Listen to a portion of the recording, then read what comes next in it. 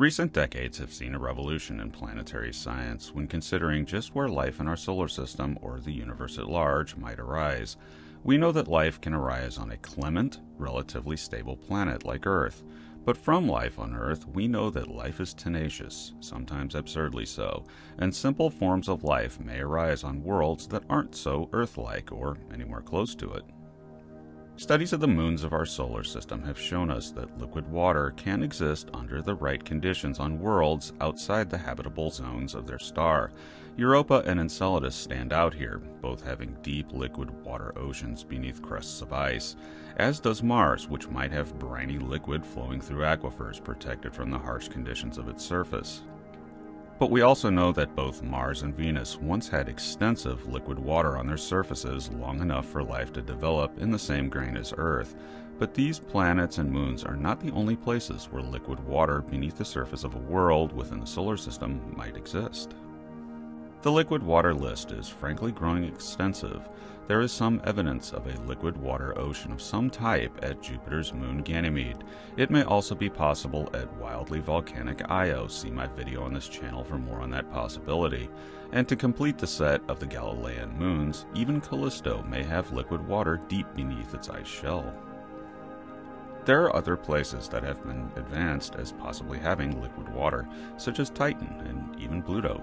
I suspect this list of possible candidates for subsurface liquid water in the solar system is only going to grow in the future, but one candidate stands out in that while it is classed as a minor planet, it's really part of the asteroid belt, leading to much confusion on just what to call it.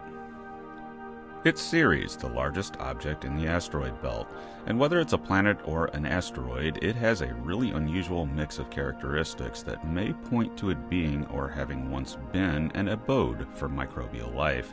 And given its position in the asteroid belt, if it did have life, it would be a candidate for possible panspermia, seeding that life to other worlds in the solar system when undergoing impacts, possibly even to our own planet. Before the Dawn spacecraft visited it, Ceres was largely expected to be a dead world, just the largest of a group of rocks. But as often happens with space exploration, it surprised us. There was evidence of recent resurfacing at Ceres along with abundant water ice. This implies that some kind of liquid water persists in the interior, though to what extent isn't known, and it probably isn't prudent to call it an ocean, the liquid probably isn't as extensive as with other worlds in the solar system, but if it does exist, it would probably have to be salty or maybe mixed with ammonia or another chemical that can keep it from freezing. But that wasn't the only thing Dawn discovered at Ceres. It also spotted evidence of organics on the surface. You don't need life for organics. Indeed, organic chemistry seems to be everywhere in the universe.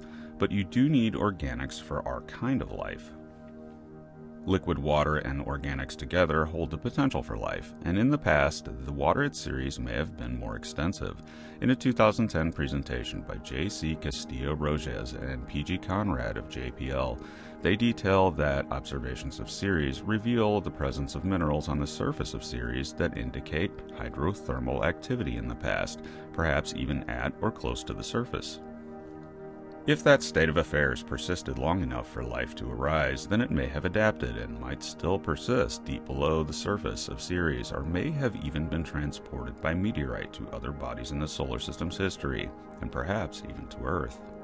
Thanks for listening. I am futurist and science fiction author John Michael Godier, and be sure to check out my books at your favorite online book retailer and subscribe to my channel for regular in depth explorations into the interesting, weird, and unknown aspects of this amazing universe in which we live.